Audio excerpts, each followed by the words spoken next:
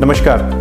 मैं डॉक्टर पीयूष वाजपेयी मैं medical oncology department Manipal अस्पताल दिल्ली में आ, इस विभाग का विभाग अध्यक्ष हूँ। मैं आपको आज ये बताना चाहूँगा कि पिछले तीन वेव्स में कोविड की तीन वेव्स में हम देख रहे हैं कि कहीं ना कहीं कैंसर के पेशेंट्स देर से प्रेजेंट कर रहे हैं अपने लक्षणों को लेके अपने सिम्टम्स को लेके। और इस कारणवश उनका लेट प्रेजेंटेशन होने के कारण। और ये ऑफ़ कोर्स कहीं ना कहीं भय से रिलेटेड है कोविड के भय से। उस कारणवश कहीं ना कहीं कैंसर का ट्रीटमेंट उतना अप्रोप्रिएट उनको नहीं मिल पा रहा है। कहीं ना कहीं थेरेपीज में देर हो रही हैं। पिछले दो साल में हमने कोविड 19 में ये तो जाना है कि इससे इसका एक जो रोकथाम करने का तरीका है, वो है सबसे महत्वपूर्ण वैक्सीन अगर आप वैक्सीन लगवा चुके हैं अगर आप वैक्सीन का अगर आप एलिजिबल हैं प्रोफिलैक्टिक डोज और बूस्टर डोज के लिए भी, अगर वो लग चुका है और आपको जब भी अस्पताल आना है तो N95 मास्क पहन के सोशल डिस्टेंसिंग को मेंटेन करते हुए आना है।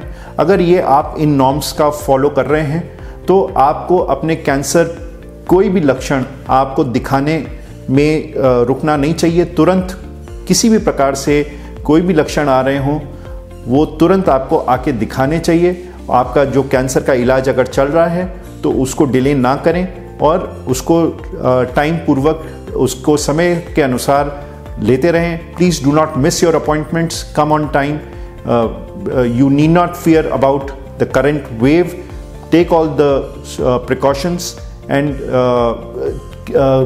take your cancer treatment forward अपने ऑन्कोलॉजिस्ट से आपको डिस्कस करना चाहिए कि क्या कोई लेस इम्यूनोसप्रेसिव ट्रीटमेंट्स अवेलेबल हैं? क्या ओरल टैबलेट्स अवेलेबल हैं? किसी प्रकार से जो है कीमोथेरेपी का डोज या आ, ऐसा डोज अपनाया जा सकता है जिसमें जो है इम्यूनोसप्रेशन यानी कि इम्यूनिटी बहुत कम ना हो? तो ये डिस्कशन आपको करना चाहिए अपने ऑन्कोलॉजिस्ट से। दूसरा चीज़ एक और सुविधा उपलब्ध है मणिपाल हॉस्पिटल में और बाकी अस्पतालों में भी और वो है टेलीमेडिसिन का सुविधा।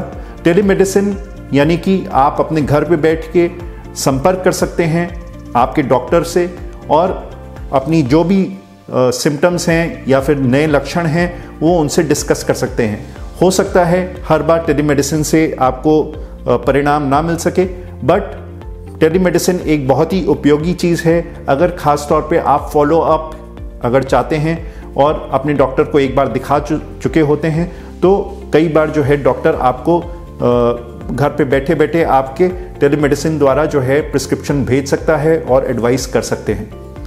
एक और चीज़ मैं बताना चाहूँगा डे केयर इलाज के बारे में। कीमोथेरेपी डे केयर एक ऐसी सुविधा होती है एक ऐसा प्लेस होता है जो कि जहाँ पे आपको सुबह आके और शाम को ही वापस चले जाना है। यानी कि आपको अस्पताल में रात में रुकने का ज़रूरत नहीं है। ऐसा डे केयर हमारे यहाँ मणिपाल अस्पताल दिल्ली में यहाँ पर आ, हम फॉलो कर रहे हैं।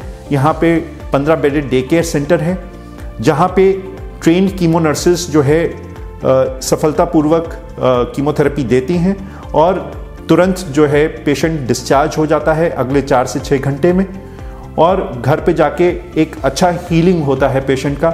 सो ये बहुत ही इंपॉर्टेंट है कोविड के टाइम में कि पेशेंट को अस्पताल में रात को नहीं रुकना पड़ता and patient can go home safely इसी प्रकार से मैं बोलना चाहूँगा कि ये सब चीज़ों को मद्देनज़र रखते हुए कोविड से अब डरने का ज़रूरत नहीं है। हाँ हमको सावधान और सतर्क ज़रूर रहना है कोविड से बट जो अन्य दिक्कतें हैं, चाहे वो कैंसर हो, चाहे वो कार्डियक हो, हमको अब आगे बढ़ के उनको, उनका हल करना है और अपनी सेहत का अच्छे से ध्यान रखना है।